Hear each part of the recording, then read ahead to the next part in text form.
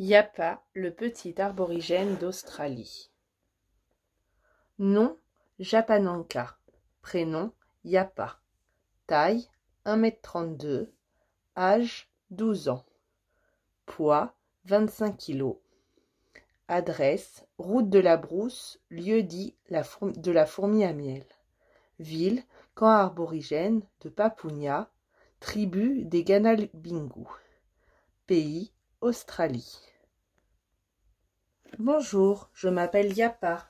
Dans notre langue, là où j'habite à Papounia, dans la région du désert, Yapa veut dire arborigène. C'est le nom de tous les hommes qui sont nés sur l'île la plus grande du monde, l'Australie.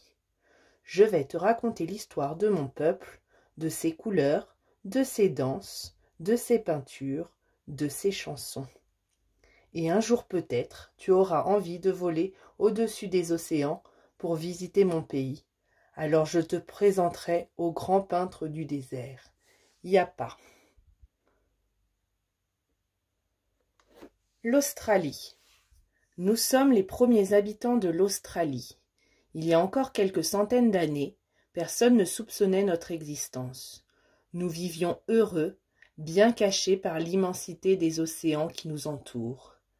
Un jour, des hommes blancs qui voyageaient à bord de grands voiliers découvrirent notre île.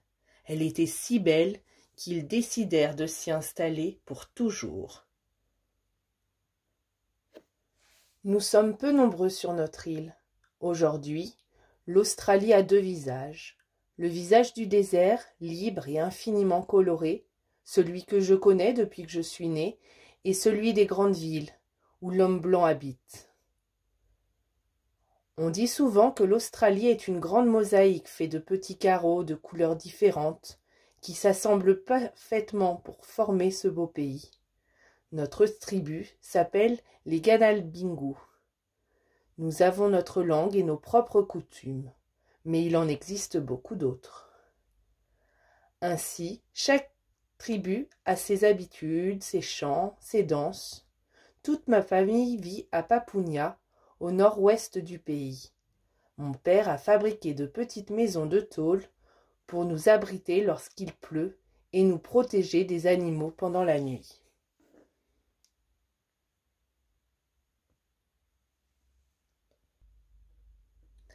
Ma mère et mon père préfèrent dormir sous les étoiles. Il fait si chaud ici. C'est là, disent-ils, qu'ils se sentent le mieux pour rêver. Quand mon père part chasser le kangourou, avec les hommes de la tribu, ma mère prend son drôle de bâton, celui qui lui sert à fouiller le sol du désert, pour y, dénicher des trésors. Avec le bâton à fouir, elle trouve tous les animaux cachés dans le sable. Les racines, les porcs-épics, les lézards, les légumes de la brousse. Je suis chargée de tout récolter dans un petit panier de bois joliment décoré, le coulamone. Mais moi, je préfère manger les fourmis à miel. Elles ressemblent aux fourmis qui gambadent dans l'herbe de ton jardin. Elles ont d'énormes ventres ronds comme des billes et remplis de miel. Hum, c'est délicieux. Mais sais-tu ce qui est le plus important pour moi? C'est ce qui s'est passé sous le prunier en fleurs. C'est là que mon père a voulu me confier un grand secret celui que mon grand-père lui a confié au même endroit alors qu'il n'était qu'un petit aborigène comme moi. Le secret de mon peuple, de mon pays tout entier, le secret des arbres et des fleurs, des nuages et des étoiles, des lézards et des fourmis à miel. Si tu me promets de ne rien dévoiler, je veux bien te le raconter. Avant, quand je regardais ma mère danser pieds nus sur la terre rouge, je ne comprenais pas. Quand je découvrais mon père déguisé de plumes d'oiseaux, dessiner des, ronds dans le sable, je ne comprenais pas. Maintenant je comprends. Mon père m'a tout expliqué. Je sais ce qu'est un rêve et pourquoi je dois le poursuivre pour toujours. J'ai appris que les rêves arborigènes ne ressemblent pas aux songes qui animent ton sommeil. Pour notre peuple, les rêves sont des peintures, des sculptures, des chants, des danses qui racontent la vie de nos ancêtres au moment où ils inventèrent le monde. Mon père m'a raconté son rêve. Il m'a dit que chez nous, les ancêtres n'étaient pas des hommes, mais des animaux géants. Il y a très longtemps, les ancêtres se sont tous réunis pour créer le monde. Avant, il n'y avait rien. Le kangourou et la fourmi à miel ont fait courir les collines ont fait courir les collines dans la plaine. Le lézard a fait voyager les étoiles dans le ciel.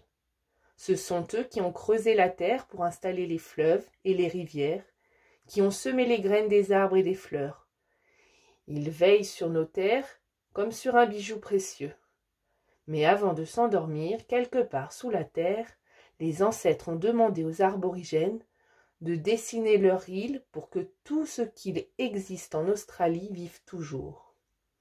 C'est pour cela que mon père, ma mère et tous les arborigènes dessinent le voyage de leurs ancêtres. Les rêves sont des messages secrets. Ils ne sont pas écrits avec des mots, mais avec des petits points, et seule la tribu arborigène peut les comprendre. Mon père m'a donné la clé de ces messages mystérieux.